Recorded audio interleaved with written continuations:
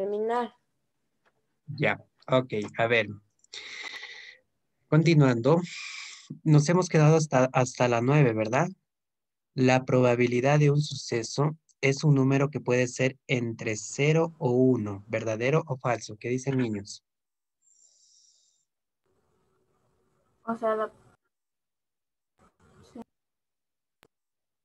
La probabilidad de un suceso es un número que puede ser entre 0 o 1, verdadero o falso.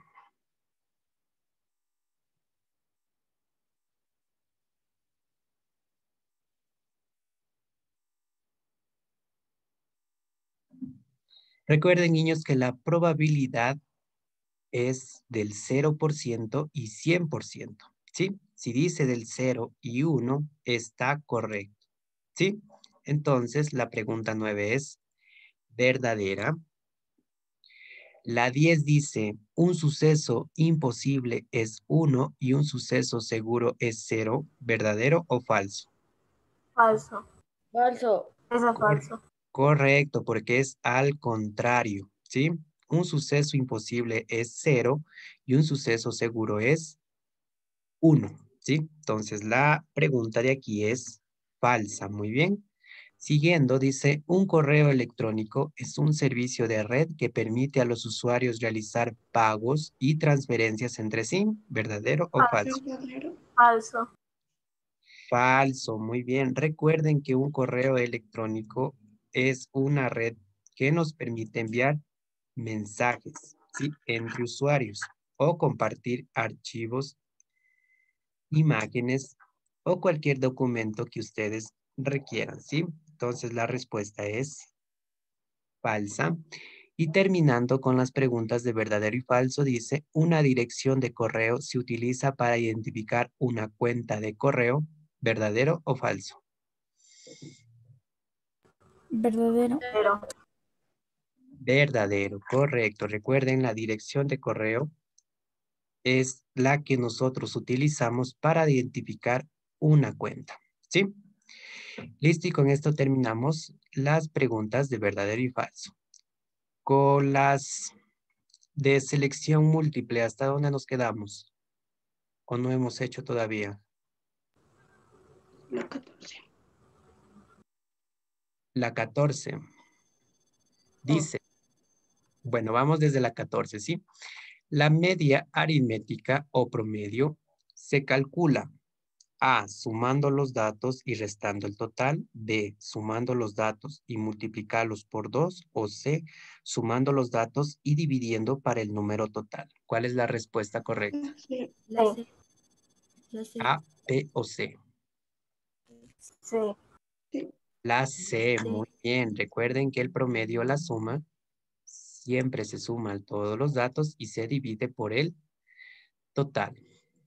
Muy bien, vamos con la 15. Dice, encuentra la mediana de los siguientes datos y selecciona la respuesta correcta. ¿Ya?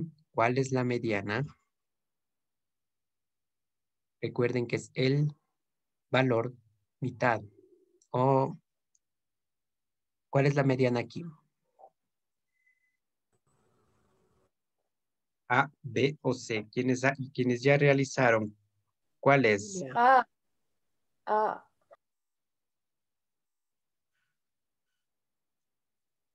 Ya, ¿quién más? ¿Cuántos La datos B. hay? ¿Cuántos datos hay aquí? La Cuenten. Ocho. Ocho. ¿Y ocho qué es? ¿Par o impar? Par. ¿Qué hacíamos cuando son pares? Sumábamos los dos de la mitad, ¿sí? Sumábamos los dos de la mitad y les dividíamos para dos, ¿sí? Es decir, 11 más 12, ¿cuánto es? Veinte. 23. 23. Y 23 dividido para 2, ¿cuánto es?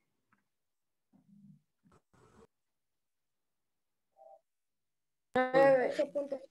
11,5. Entonces, ¿cuál es la respuesta correcta? ¿A, B o C? La. La. La A, muy bien, ¿sí? La respuesta correcta es la A. La siguiente dice, Encuentra la moda de los siguientes datos y selecciona la respuesta correcta. ¿Cuál es la moda en este ejercicio? 8. 8. 8, muy bien, sumamente fácil. Observen, el 8 es el que más se repite, ¿sí? Entonces la respuesta correcta es la B. La 17 dice, para elaborar el gráfico de barras se utiliza los datos de la frecuencia A absoluta, B Absoluta. acumulada o relativa. A. Absoluta. Absoluta, muy bien, ¿sí? El absoluta nosotros hacemos el gráfico de barras, ¿sí? Siguiente pregunta, dice, para elaborar un diagrama circular es necesario multiplicar la frecuencia relativa por A, 90 grados, 360 grados. 260, 80, 180. Muy bien, 360, ¿sí? Muy bien. La 19 dice, para representar gráficamente porcentajes de los resultados de una encuesta, se utiliza un diagrama de barras, diagrama de frecuencias o diagrama circular. ¿Cuál es para, re- para representar porcentajes? Diagrama. De barras. Diagrama. A, B o C. A. B. La C, muy bien, el diagrama circular, ¿sí? Ya- ¿Se acuerdan? El gráfico de pastel o diagrama circular es el que me permite ver los porcentajes, ¿sí? Siguiente pregunta dice, ¿para qué crees que es importante conocer los métodos de probabilidad? A, para tomar decisiones y teniendo los eventos controlados. B, para tomar decisiones dependiendo de la posibilidad que algo ocurra. O D, para tomar decisiones o- y no arrepentirse en futuras posibilidades. A, B o C. C. B. B. B. B, muy bien, para tomar decisiones dependiendo de la posibilidad de que el evento ocurra. ¿Sí? ¿Listo? Pregunta 21 dice, la probabilidad de un suceso se puede expresar como una fracción en la que el numerador es puntos suspensivos y el denominador es puntos suspensivos. A, el número entero, el número primo, B, el número de casos posibles sobre el número de casos favorables, o C, el número de casos favorables o el número de casos posibles. A, B o C. ¿Cuál es? C. C. B. C. C. C. La C, muy bien. Recuerden, siempre, tener, siempre vamos a tener los casos favorables dividido para el caso posibles. ¿Sí? Y aquí hay un ejercicio en la pregunta 22. Dice, hay ocho cajas iguales con dulce. Tres de ellas contienen caramelos y el resto chicles. ¿Sí? Si se toma una caja, ¿qué probabilidad existe de que tenga solo caramelos? C. A, B o C. Miren, tienen ocho cajas y tres de ellas son caramelos y el resto chicles. ¿Cuál es la La B. probabilidad de que B. tenga solo B. caramelos? La, La B. B, muy bien, ¿sí? La B. Porque recuerden, hay tres cajas de caramelos, ¿sí? Y lo que me pregunta es, ¿cuál es la probabilidad de que me salga solo caramelos? ¿Sí? Es decir, 37.5%. Y por último dice, la estructura de una dirección de correo electrónico es A, nombre de usuario, dominio y símbolo, B, símbolo, nombre de usuario y dominio, o, o C, nombre de usuario, símbolo y dominio. A, B o C. C. C. A. La C. La C. C. C. A, B o C. C.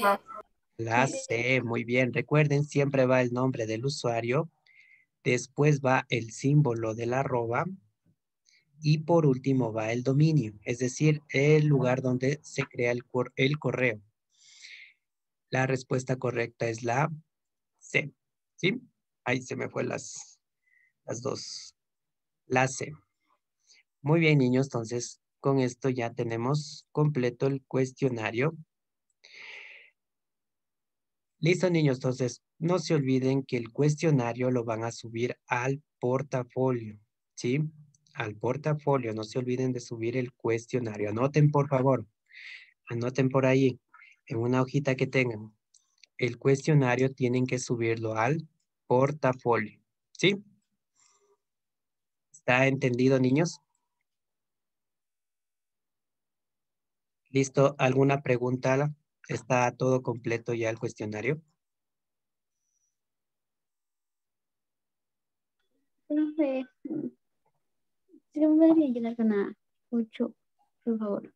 La 8 dice de verdadero y falso, ¿verdad? Para Sí. representar un diagrama circular es necesario real- realizar una tabla de frecuencia, verdadero o falso. ¿Qué dicen los demás? Verdadero. Verdadero. Recuerde que para hacer cualquier gráfico estadístico siempre hay que necesitar una tabla de frecuencias. ¿sí? Sin la tabla de frecuencias no podemos dibujar. ¿Ya? ¿Me puede decir las 6 y las 7? La 6 dice, la frecuencia acumulada de un dato es el número de veces que el dato se repite dentro del conjunto, ¿verdadero o falso? Falso. Falso, muy bien. Recuerden que la frecuencia absoluta es, es, es aquella que el dato se repite, el número de veces que dato se repite, ¿sí? Y la 7 dice, la frecuencia relativa se obtiene dividiendo la frecuencia absoluta por el total, ¿verdadero o falso?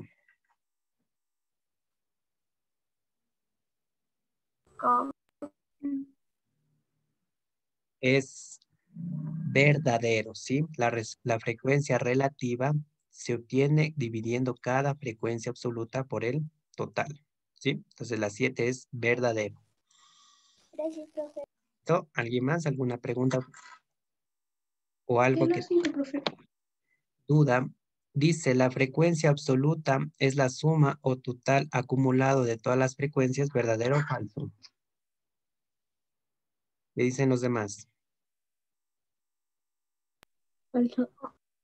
Es falso, ¿sí? Recuerden que cuando habla de acumulado o de suma, es la frecuencia acumulada, ¿sí?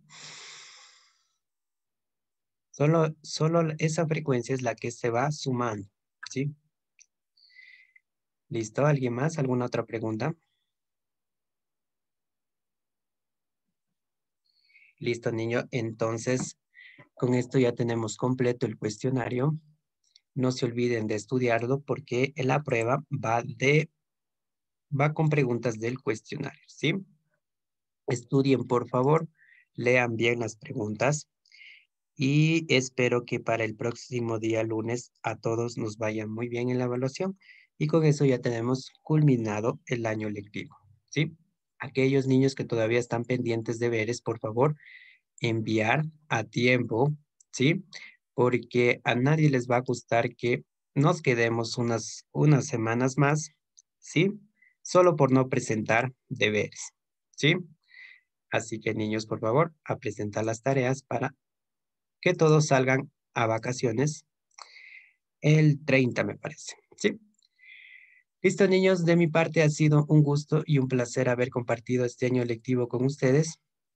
Espero, Dios mediante, el próximo año volvernos a encontrar, ¿sí? Gracias por todo, niños, y les deseo mucha suerte en su vida eh, de colegio, que van a empezar el próximo año, ¿sí? Gracias, niños, y nos vemos.